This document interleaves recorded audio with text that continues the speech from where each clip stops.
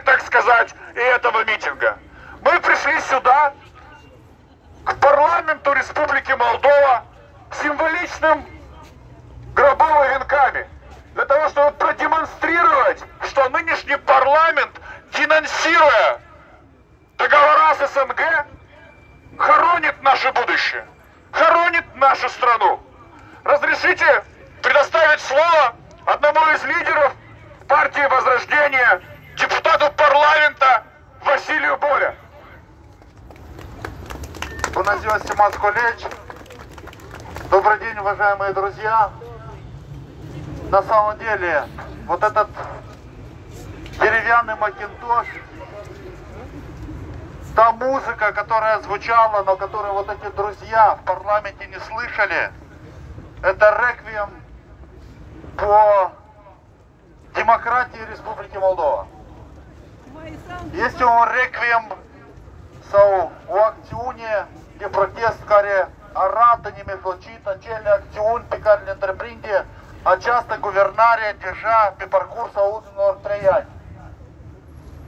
Deja avem 67 de acorduri în cadrul comunității statelor independente care au fost denunțate. Și ori acest lucru ne aduce nouă Republicii Moldova, cetățenilor noștri, un beneficiu? Evident că nu. Astăzi, de asemenea, sunt incluse în ordinea de zi a Parlamentului încă trei subiecte privind denunțarea a trei acorduri importante pentru securitatea Republicii Moldova. Acord referitor la activitatea trupelor de pacificare este unul din aceste acorduri pe care autoritățile noastre vor să-l denunțe astăzi.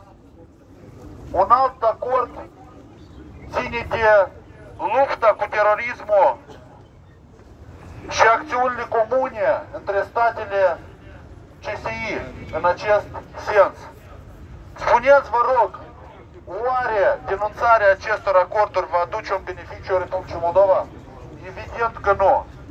Nouă de fiecare dată ni se spune că ferm mergem spre Europa, că Europa este bunăstare.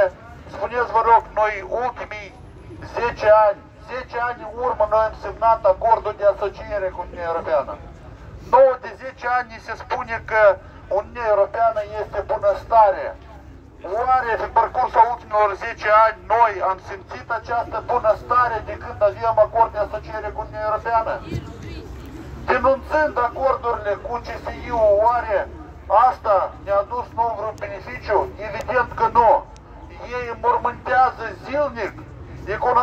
Republicii Moldova prin asemenea acțiuni. Zilnic din Republica Moldova pleacă cetățeni și nu mai văd un viitor aici, în țara noastră. Iată, acest sicriu simbolic este ceea ce ne pregătesc aceste autorități nouă.